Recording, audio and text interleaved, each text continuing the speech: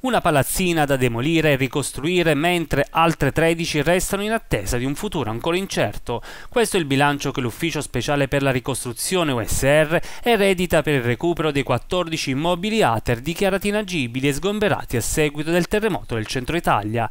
A oltre otto anni dalle prime scosse, queste strutture di edilizia popolare non hanno ancora soluzioni tecniche definitive per la loro riparazione, lasciando centinaia di famiglie sfollate. Beh, noi chiaramente viviamo questa novità con um, una valutazione positiva, ne diamo una valutazione positiva, ma dopo otto anni noi terremotati abbiamo i piedi ben piantati per terra e quindi sappiamo che non è la soluzione dei problemi, la totale soluzione dei problemi, anche perché il numero degli edifici è piuttosto basso.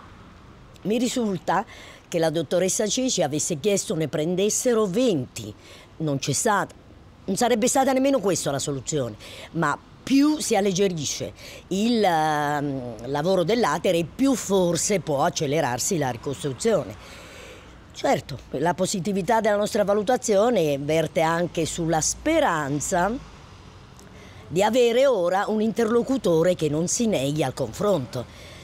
Per otto anni noi abbiamo visto, per quasi la totalità degli otto anni, noi non abbiamo avuto alcuna interlocuzione con l'Ater che è di una gravità, a nostro avviso, non giustificabile. A causa delle difficoltà di personale e dell'elevato numero di interventi sul territorio, l'Ater sarà supportata dall'ufficio speciale diretto da Vincenzo Rivera per velocizzare le pratiche e avviare i cantieri. Io ho avuto spessissimo incontri con uh, il dottor Rivera e anzi devo dire che in questi otto anni le mie informazioni, le informazioni che ho avuto sono sempre venute dall'USR e mai dall'ATER.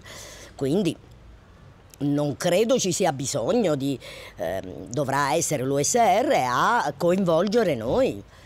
C'è un coinvolgimento non solo e non tanto degli inquilini quanto dei proprietari nei condomini misti previsto dalle ordinanze, quindi credo che come dire, si atterranno a quanto ordinato.